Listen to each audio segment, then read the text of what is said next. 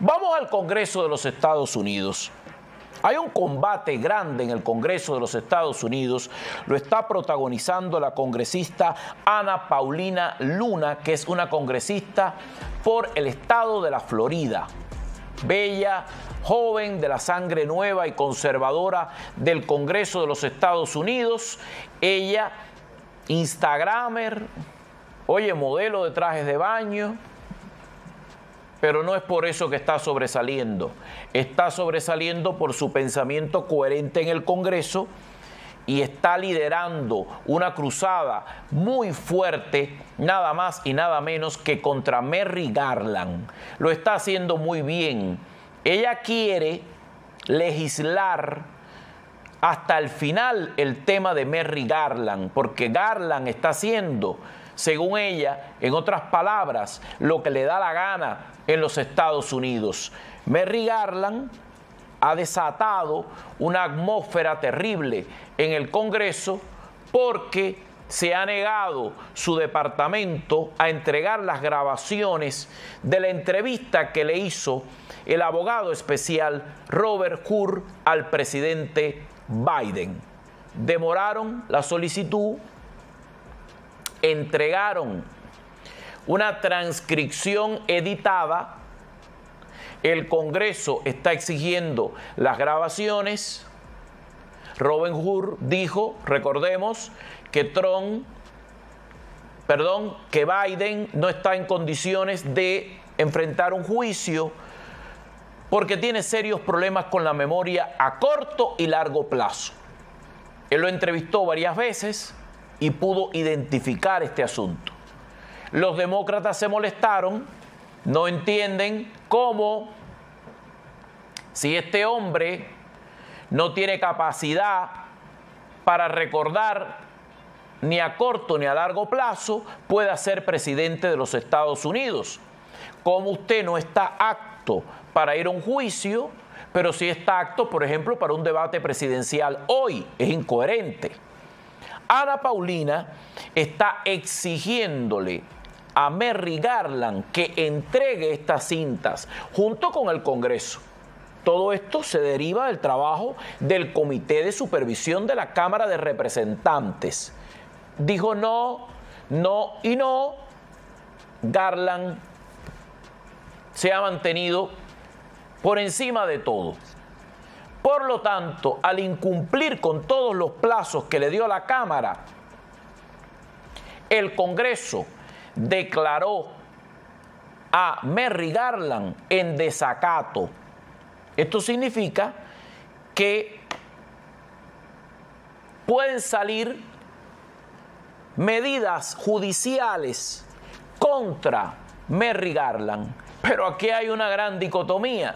Para que esto pueda caminar judicialmente, lo tiene que aprobar el Departamento de Justicia. Y, oh, casualidad divina, lo tiene que autorizar Merry Garland. O sea, el Departamento de Justicia que él dirige tendría que autorizar que se tomen medidas legales contra el jefe del Departamento de Justicia. Y como ustedes comprenderán, en el Departamento de Justicia dijeron que no, que eso no procede porque ellos no van a juzgar a su propio jefe.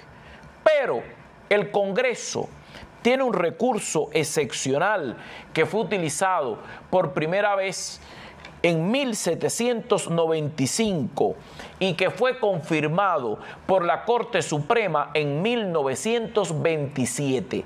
Puede parecerte obsoleto, ok, pero está activo, nadie lo ha eliminado.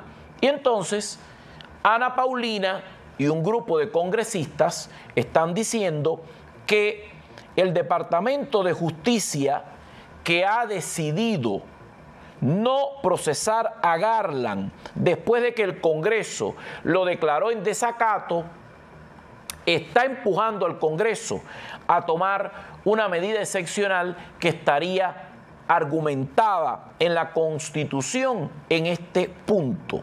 La autoridad del Congreso potencialmente puede desafiar este asunto y puede imponer un acto de detención contra Merry Garland, pero esto tendría que ser aprobado por el Congreso de los Estados Unidos. Esto no se hace hace siglos, pero esto existe y es un golpe de autoridad. Y hay mucha gente que cree que es una postura extremista de Ana Paulina Luna, porque es que los republicanos juegan muchas veces a ser muy nice, muy decentes, a no llevarlo todo al extremo, pero esa no es la manera en la que actúan los demócratas, quienes cada vez que tienen la oportunidad hacen lo que la ley les permite sin que les tiemble la mano. Por lo tanto, esto hay que comenzar a planteárselo de otra manera. ¿Qué ha dicho Ana Paulina Luna como parte de esta cruzada que está impulsando Evidencia. We are here today because of the double standard that exists within the justice system. As you know, on February 27th, the Oversight Committee, as well as House Judiciary, had sent a subpoena to Attorney General Garland, of which we received no response. And after referring him for criminal contempt within 48 hours or less, the Department of Justice refused to prosecute. Inherent contempt is clearly within our Article 1 authorities, and Congress does have the power to investigate um, all legislative powers Investigations are part of our legislative process, and people that interfere with these processes should be held accountable.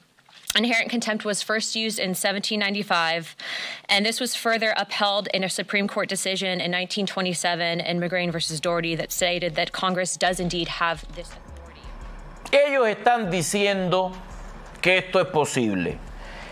Hay muchos republicanos que están diciendo que esta es una medida extrema, que no debería aplicarse, ya les he dicho lo que creo sobre esto. Hay una resistencia republicana con respecto a la medida. Entiendo todo este asunto. ¿Por qué debería ser diferente con el fiscal general que se supone es el jefe de todas las autoridades encargadas en hacer cumplir la ley? Se preguntan a Paulina. Ella cuestionó y dijo, Garland todavía tiene tiempo para cumplir con esta solicitud. Nosotros le pedimos que traiga las cintas de cámara y que nos permita escucharlas.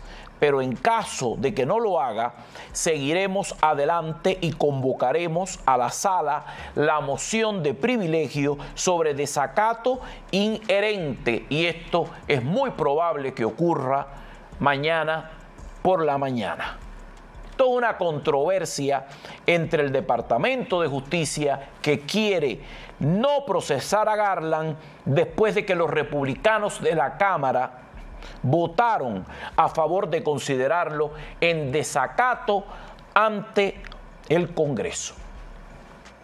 ¿Qué creen ustedes? ¿Ocurrirá o no ocurrirá? Escuchemos más de Ana Paulina Luna. Evidencia.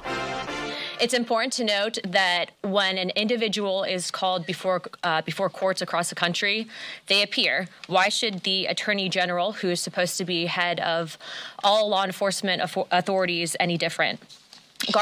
uh, Garland still has time to comply with this request. We are asking that he bring the tapes to the House and let us listen to them. But in the event that he does not, we will press forward with calling the privilege motion on inherent contempt to the floor on Friday morning. It is also important to note that if we as a Congress do not have the ability to enforce our investigative ability, that we are essentially going to be ignored and undercut and essentially handicapped by all other branches, which would make us not a co-equal branch of government. After me, I have Dan Crenshaw speaking that would like to address this issue, but I would appreciate that the press report on this accurately and that Congress, again, does have the authority to do this, that the Attorney General is not above the law. And ultimately, we will be pressing forward with this. Um, this is something that, again, would enable the Speaker of the House to order the Sergeant at Arms to take into custody the Attorney General if he fails to comply with our request. Mis fuentes en el Congreso de los Estados Unidos me dicen que este impulso de Ana Paulina, esta decisión de la congresista del estado de la Florida, cuenta con un respaldo de una minoría mediana de los republicanos en la Cámara de Representantes. Posiblemente entre 60 y 80 votos apoyarían este proyecto de ley que lo describen como una herramienta extrema, o sea, no alcanzaría. Mike Johnson, que es el presidente de la Cámara, ha declarado que los republicanos tienen la intención de emprender acciones legales, lo estoy citando, para obligar a Garland a cumplir su citación. Pero no describió cuáles serían estas medidas legales ni si ese escenario se concretaría mañana. Puede ser que después de lo que pase esta noche haya indignación y rabieta y mañana esto cambie, pero hasta el momento no hay una certeza sobre este hecho y esto va de este modo. Dejen su opinión 305 728 2021 305 728 2021.